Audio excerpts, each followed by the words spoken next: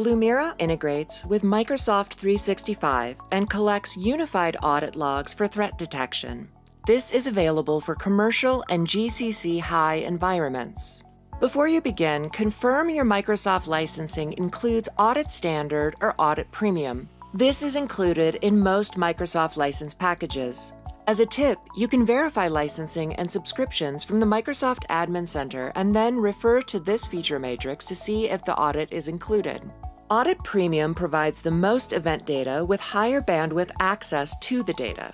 You'll also need to be a Microsoft admin with global administrator permissions. Now you're ready to get started with your integration. First, verify that auditing is enabled. After enabling auditing, it can take 60 minutes for the change to take effect and then up to 72 hours before logs can be retrieved. Your Blumira Cloud Connector may continue to fail and show an error while Microsoft processes the change.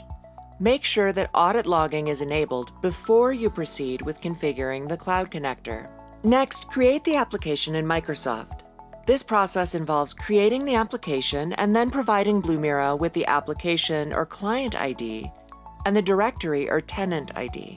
After that, you'll enable permissions and create the credentials in Microsoft for Blumira to ingest the logs. First, select Office 365 Management API you're going to grant the delegated permissions for activityfeed.read, activityfeed.read DLP, and servicehealth.read, as well as the same permissions under the Application Permissions heading.